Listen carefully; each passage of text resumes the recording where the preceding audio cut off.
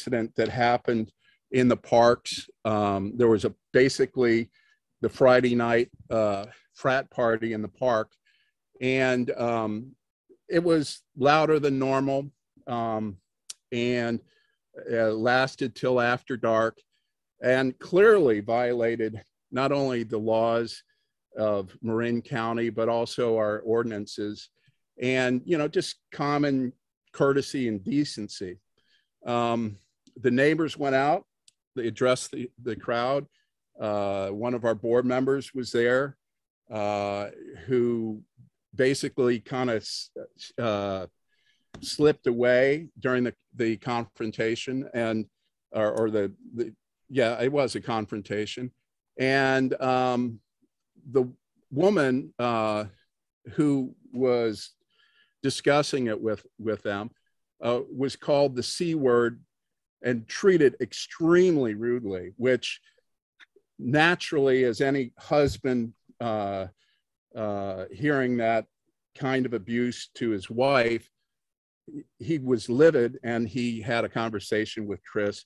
Anyhow it's being discussed uh, but uh, my dearest hope is that we can continue um, good positive activities in the park and eliminate alcohol use as is in our bylaws and as in the laws of Marin County and virtually every park that I know of. They don't allow drinking like we allow drinking. So, and smoking and, you know, using the, the, the woods as a urinal and what have you. Um, it's a problem that needs to be addressed and should be discussed. So that's it. Um, looking forward to tonight's meeting. Thanks. Was the problem with alcohol in our parks. Now, it is expressly illegal. Uh, I don't, John Campo might uh, know what the policy is for um, Marin County parks, but I don't believe they allow alcohol there except under strict permitting issues.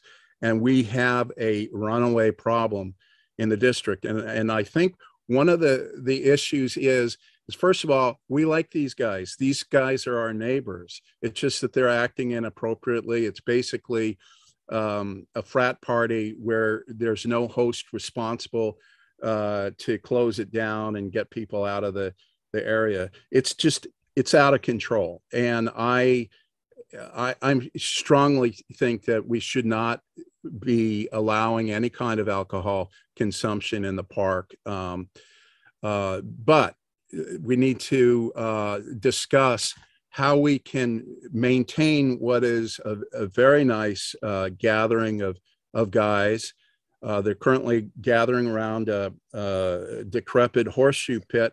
I would like to see um, a better area with more games and fun stuff to do. Um, and I think it's it's it's worth discussing because I think in closing down the alcohol, um, which is part of the social uh, lubricant, if we had more games there, maybe we can keep everybody happy, including the wives that have to deal with their husbands who had too much to drink on a Friday night. So um, I, I, do think this is worthy of discussion.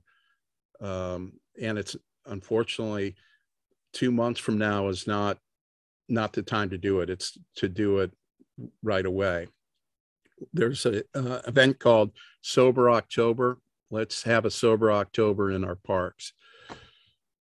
I trust our staff will keep you informed on the developments here. But currently, the sheriff's department has been informed, and so I don't want to see it get, go ugly. I, I, but it may get ugly, and um, will.